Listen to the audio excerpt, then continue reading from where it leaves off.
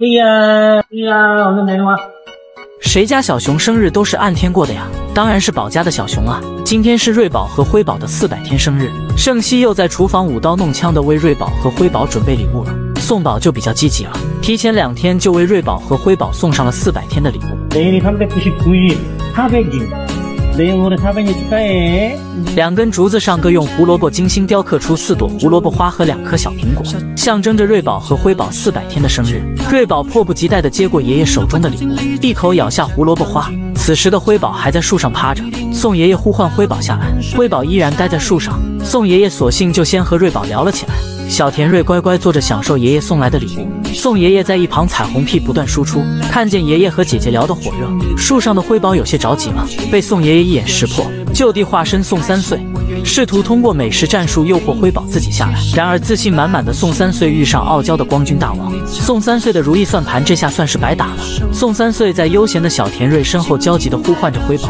辉宝却无动于衷。为了缓解尴尬的局面，宋三岁只好凑到瑞宝跟前，继续和瑞宝聊天。宋爷爷告诉瑞宝，现在他们之间要有这棵树桩隔着，因为瑞宝长大了，牙齿变得尖锐了。瑞宝一边吃着美食，一边听着爷爷的碎碎念。这一刻，突然觉得时间过得好快。宋宝能近身投喂瑞宝和辉宝的日子，也是过一天少一天了。果然，辉宝是个醋坛子无疑了。见爷爷和姐姐聊得火热的辉宝忍不住悄悄从树上滑下，无视回到原地，拿着礼物等待自己的爷爷，直冲到姐姐身边扭打起来。宋三岁在身后像个局外人一样，盛熙在一旁边拍边劝架。辉宝这才回到爷爷身边。收到礼物的光君大王坐在爷爷身边，听着爷爷的碎碎念，享受着爷爷送到嘴边美味的胡萝卜，一副幸福和谐的画面。时间很快来到今天。盛熙为瑞宝和辉宝准备的四百天礼物是冰镇的胡萝卜和两块小苹果。然而比起礼物，小田瑞却更想和姨母一起玩耍。看到这里，小编脑海里浮现出福宝四百天时躺在江爷爷怀里的画面。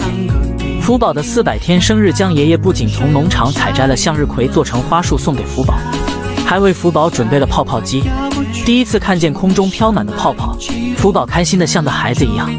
不得不说，宝家族的熊孩子们在爷爷和姨母的陪伴下，都拥有了幸福的童年。再次祝瑞宝和辉宝四百天生日快乐！愿天下的熊孩子们都能被爱包围，健康幸福长大。